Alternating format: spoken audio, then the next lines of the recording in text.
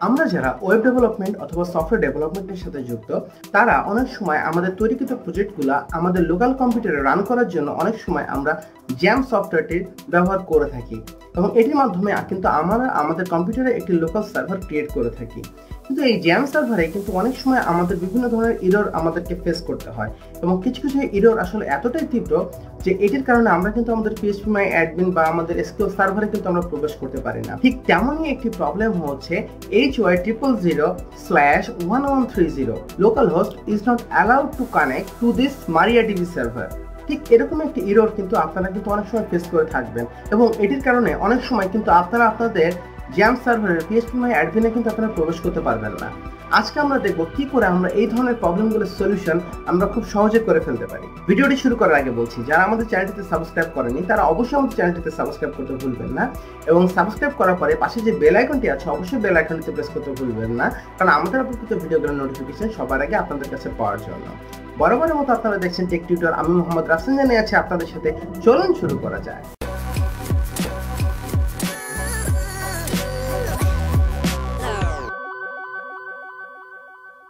টেকটিটো চ্যানেলের ড্যাশবোর্ডে আপনাদেরকে আরও একটু স্বাগতম। আজকের পর্বে মূলত আমরা যেটি দেখব, সেটি হচ্ছে আমাদের জ্যাম সার্ভারে অনেক সময় আমাদের এই ধরনের প্রবলেম ফেস করি, সেটি হচ্ছে আমাদের পিএইচপি মাই অ্যাডমিন ইরোর অথবা দেখা যায় যে H Y triple zero slash one one three zero error actually তো আমি আপনাদের একটু দেখাই। তো আমি লোকাল হোস্টে আমি এসেছি, এবং আসার পরে আমি দেখাচ্ছি যে পিএইচপি মাই অ্যাডমিন এখানে আমি যখন ক্লিক করছি, আপনারা দেখতে পাচ্ছেন এটি টোটালি একটি ইরোর এবং এই এই যে যে ইরোরটি অ্যাকচুয়ালি যে basically local host is not allowed to connect to this MariaDB server তো আজকে আমরা এটিকে সলভ আউট করব যে এটিকে আমরা কীভাবে সলভ আউট করতে পারি।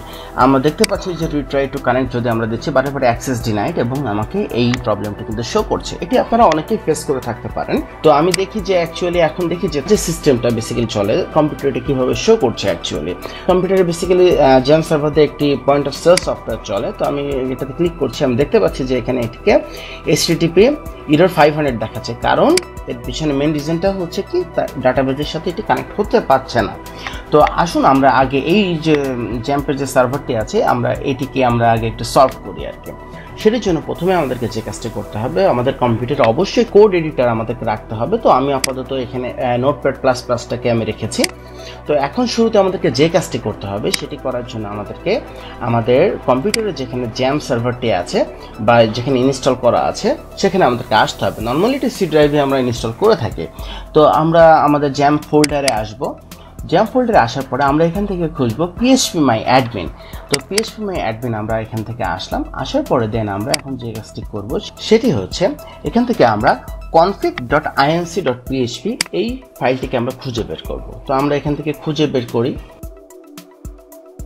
এখানে দেখতে পাচ্ছেন যে আপনারা config dot INC dot PHP নামে একটি ফাইল আছে। তো আমরা এটিকে আমাদের যে নোট প্যাড প্লাস প্লাস যে কোড এডিটার আছে, আমরা এটিতে আমরা ওপেন করে রাখি। ওপেন করার পরে আপনারা দেখতে পাচ্ছেন যে এরকম একটি অপশন এখানে আছে, এরকম বিভিন্ন স্ক্রিপ্ট এখানে আছে।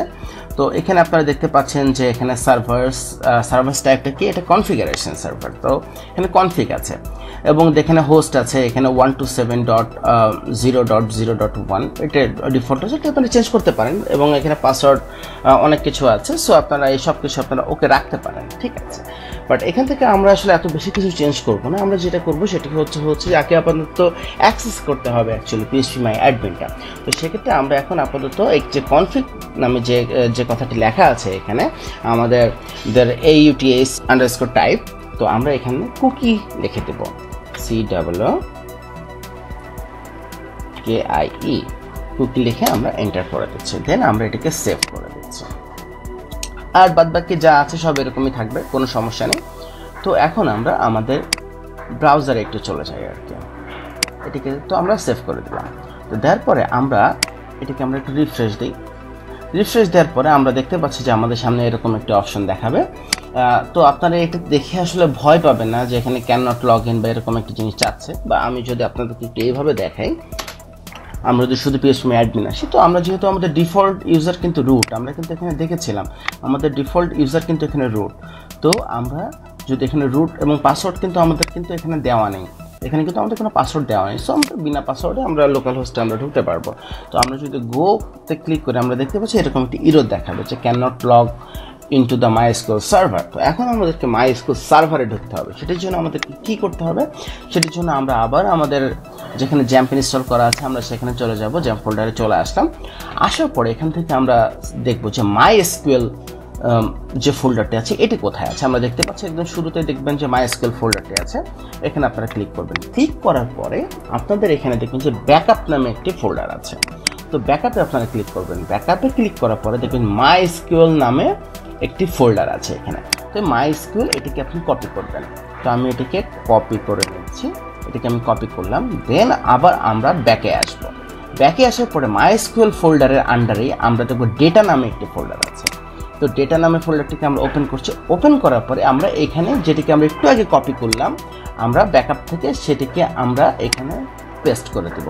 তো পেস্ট করতে গেলে আপনাদেরকে এরকম একটি পপ আপ উইন্ডো শো করবে যে আপনি এটি রিপ্লেস করতে চাচ্ছেন কিনা। তো আপনি রিপ্লেসে ক্লিক করবেন। ক্লিক করার পরে আপনাকে একটি নোটিফিকেশান দেবে যে আপনি কি যেটি করছেন এটিকে আসলে কমপ্লিট করতে চাচ্ছেন কিনা বা আপনি ট্রাই এগেইন করুন আপনি যতবারই দেন না কেন আপনি কিন্তু এটি কিন্তু করতে পারবেন না পেস্ট করতে পারবেন না। ইয়ে, কেন করতে পারবেন না? আপনারা বলুন তো। আপনারা ঠিকই ধরেছেন, কারণ এখানে কিন্তু আমাদেরকে জ্যাম সার্ভারটি এখনও রান আছে কিন্তু। এই কারণে এটির অপারেশন এখনও চালু, সে কারণে সে তার রানিং অপারেশনে কোনো কিছু চেঞ্জ করতে দিবে না। সেজন্য আপনাদেরকে এটিকে টেম্পোরারিলি অফ করতে হবে সবার আমি এটিকে অফ করে দিচ্ছি। অফ করে দেওয়ার পরে আমি আবার আসছি দেন এখন আমি ট্রাই এগেইন দিচ্ছি।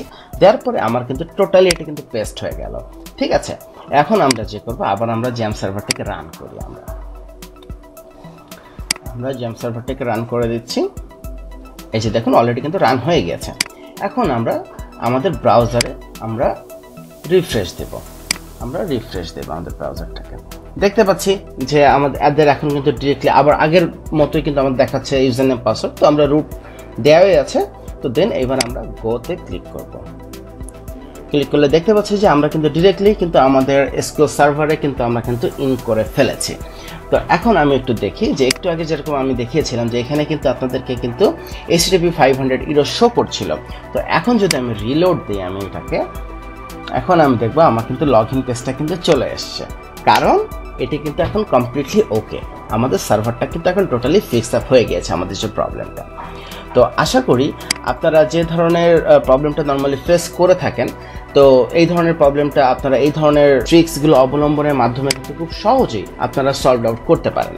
সো ফ্রেন্ডস আশা করি টিউটোরিয়ালটি আপনারা ভালোভাবে বুঝতে পেরেছেন এবং এই টিউটোরিয়ালটি সংক্রান্ত আপনাদের যদি কোনো কোশ্চেন থেকে থাকে, আপনারা আমাদের ইউটিউবের কমেন্ট বক্সে জানাতে পারেন অথবা আপনারা চাইলে আমাদের ফেসবুক গ্রুপ অথবা ফেসবুক পেজে আপনারা কানেক্ট হতে পারেন। ডিসক্রিপশন বক্সে লিংক দেওয়া আছে। And please don't forget to hit the subscribe button এবং সাবস্ক্রাইব বাটনের পাশে যে বেল আইকনটি আছে, অবশ্যই বেল আইকনটিতে প্রেস করতে ভুলবেন না কারণ আমাদের আপলোড ভিডিওগুলোর নোটিফিকেশন সবার আগে আপনাদের কাছে পাওয়ার জন্য। তো পরবর্তীতে নতুন কোনো ভিডিও নিয়ে আবার আপনাদের সাথে দেখা হবে। ততদিন পর্যন্ত ভালো থাকুন, সাথে থাকুন। ধন্যবাদ।